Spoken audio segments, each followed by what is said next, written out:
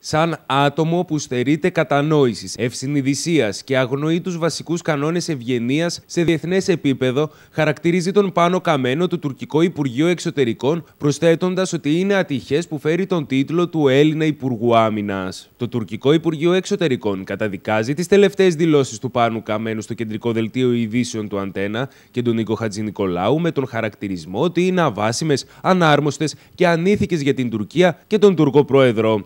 Δεν είναι θέμα πολιτικής αντιπαράθεσης, είναι θέμα εθνικής στάσης και υποχρέωσης όλων μας. Εμείς θέλουμε να ζήσουμε ειρηνικά στην περιοχή μας.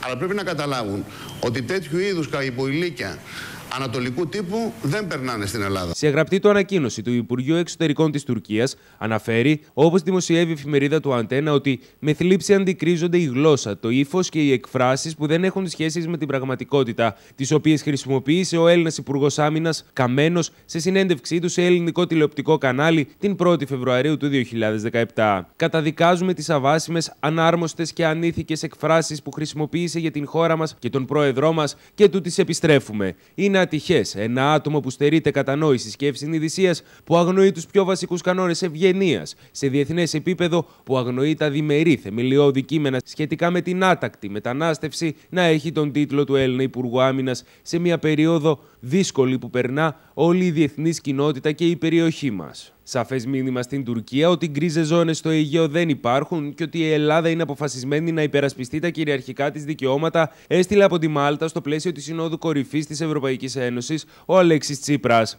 Τα ελληνικά σύνορα είναι τα ευρωπαϊκά σύνορα. Θέλω λοιπόν να είμαι σαφής. Γκρίζε ζώνες στο Αιγαίο δεν υπάρχουν.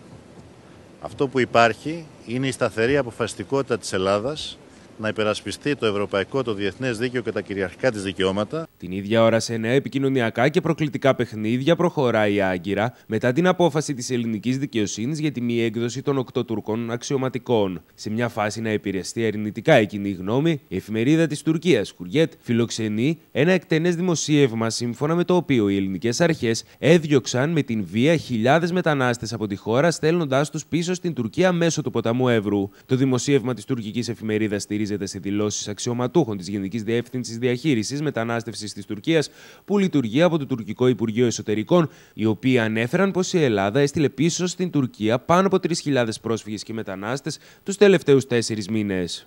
Νομίζω ότι η τουρκική κυβέρνηση και ο ίδιος ο πρόεδρος είναι ό,τι πιο αποσταθεροποιημένο υπάρχει στην Τουρκία. Δυστυχώς, αυτό προκαλεί αυτά τα που περιγράψατε πριν. Όταν αποσταθεροποιείται εσωτερικά η καθεστική ατάξη στην Τουρκία, αυτό εξάγεται ως πρόβλημα είτε στην Ελλάδα είτε αλλού, αλλά κυρίως στην Ελλάδα. Θεωρώ ότι και μετά την τελευταία επίσκεψη που έκανε η, κυρία Μέρκελ στην Τουρκία, φάνηκε ένα μεγάλο χάος που υπάρχει μεταξύ Ευρώπης και τουρκικής κυβέρνησης, όχι τουρκικού λαού, τουρκικής κυβέρνησης, και είναι ένα χάος δημοκρατικό. Αυτή τη στιγμή στην Τουρκία υπάρχει τρομακτικό ζήτημα δημοκρατίας και ελευθερίας, μάλιστα με τις φυλακίσεις τελεχών και αρχηγών κομμάτων όπως του Κουρδικού, έχουμε ένα ζήτημα μεγάλο. Αυτό λοιπόν η Τουρκία και ο Ερντογάν προσπαθεί να το εξάγει ως πρόβλημα προς τα έξω. Θέλει ψυχραιμία, θέλει διπλωματία,